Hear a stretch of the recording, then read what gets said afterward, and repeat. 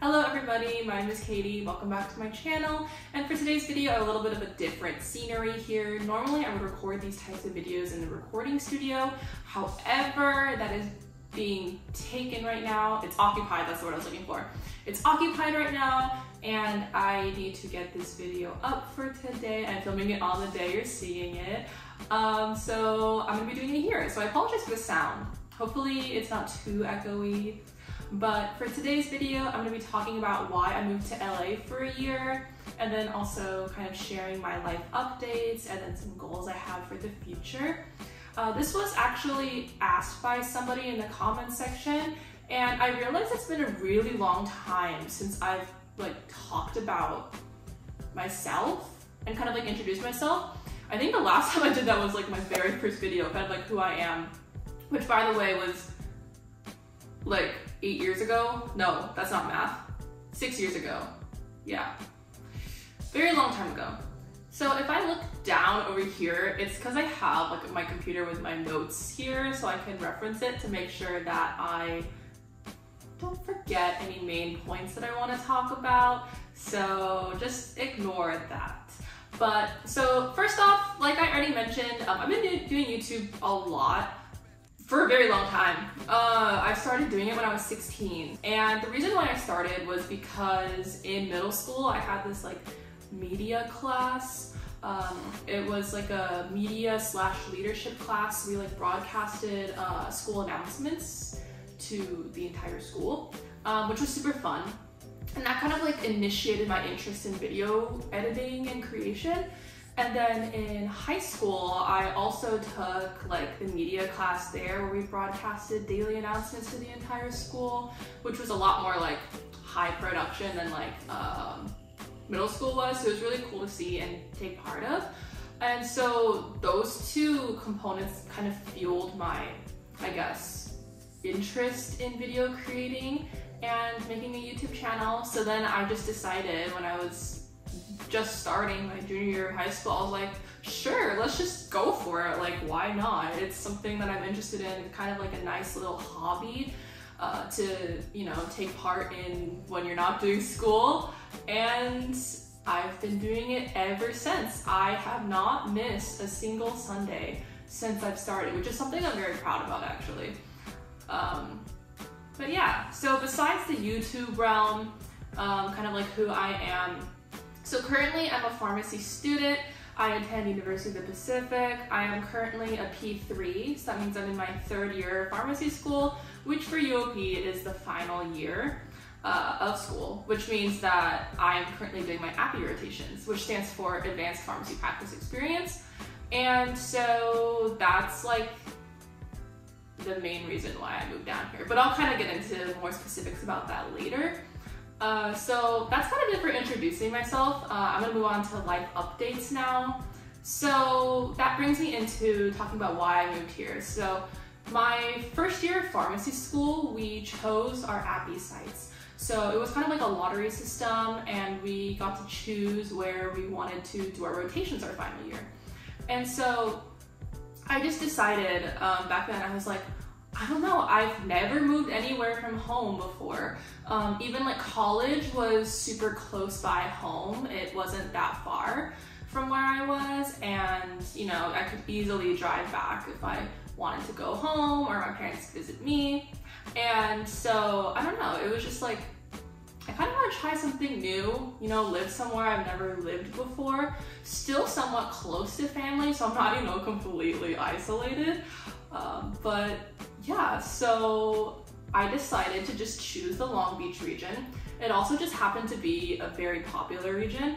I looked out and I was number 23 in the lottery system, meaning I was the 23rd person who got to pick. So I got to choose from any of the available sites. And fun fact, for my year, Long Beach was the one that filled up the fastest. Um, so that's why I moved down here, just to kind of be somewhere new and live on my own. So I've, I've enjoyed it so far. And so then, you know, during those first two years of pharmacy school, I was progressing through my didactics and I was super busy. And it was kind of hard to maintain the channel, if I'm being honest. because I did post weekly, which doesn't seem like a lot, but it is a lot when you're in pharmacy school. Uh, it's it's it's a lot. It's it's high demand for time.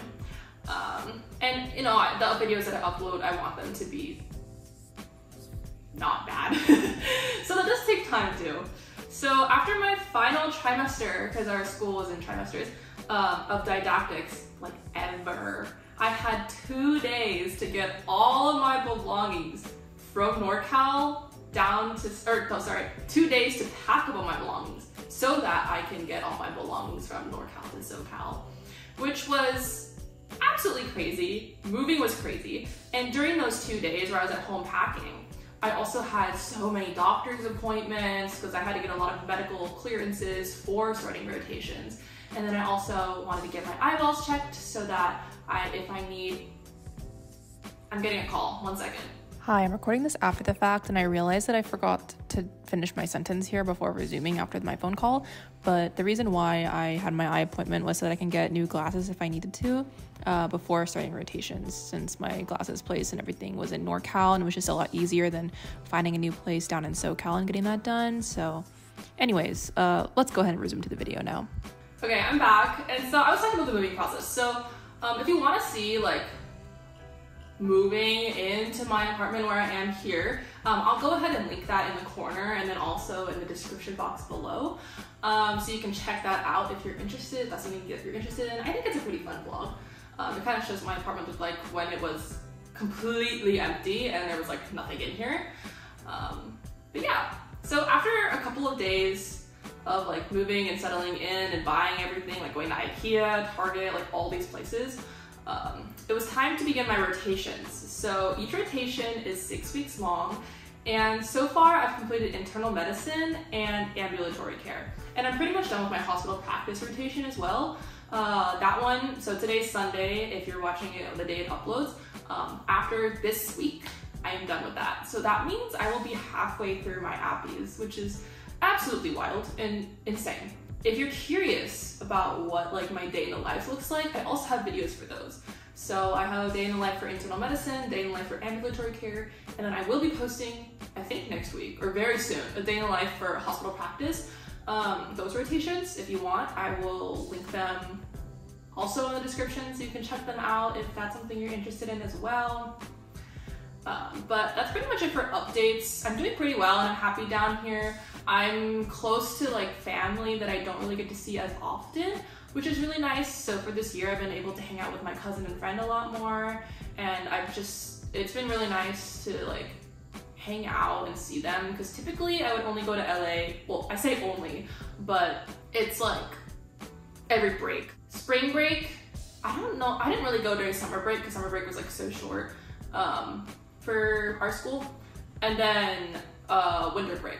So I kind of went like twice a year. Um, but it's super cool. Like even today, like I'm gonna be heading down to LA, or I guess up technically, um, to visit my cousin and friend. So that's gonna be fun. And it is still very busy, even though you know I'm not in didactics anymore. I'm doing rotations now, but it's still really busy because uh, you know rotations are very time demanding, and I also have projects on the side too, and then studying for the NAPLEX. So it's busy, but I am grateful because number one, it's very nice down here. I love my apartment, it's super nice. And number two, um, I haven't been able to spend a lot more time with people. So I've been able to see family, I've been able to see friends, definitely a lot more than in didactics. I feel like in didactics, I kind of just kept to myself in my room and just studied all day, which is kind of sad, but also very true. Not that I don't study now, but I definitely am able to have a little more fun now, which is good. So now I'm gonna move on to my goals section. So as I'm in my final year of pharmacy school, and I'll be graduating in just a couple of months, which is absolutely wild.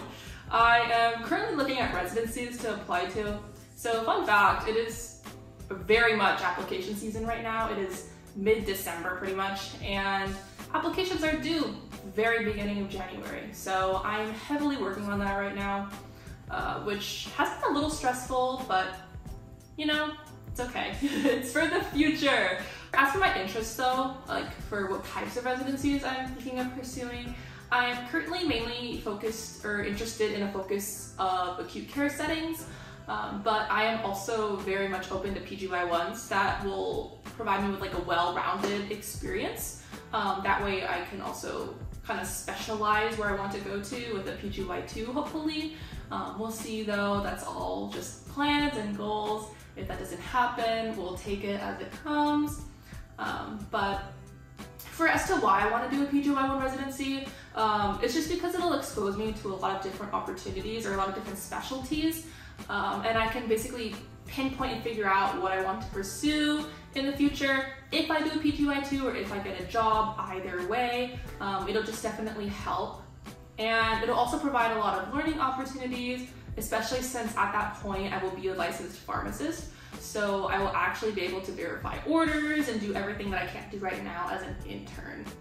And then also I will just gain a lot of connections, like especially with co-residents, I feel like uh, with them, like, you know, you'd be able to bond a lot because you're kind of going through this tough thing together and you're learning together, which will be very exciting and very fun. It's kind of like from what I've heard, APPEs part two, except you're a lot more involved and you learn a lot more because, you know, at that point you're licensed. So there will be lots of learning opportunities. So that's kind of what I'm looking at in the future.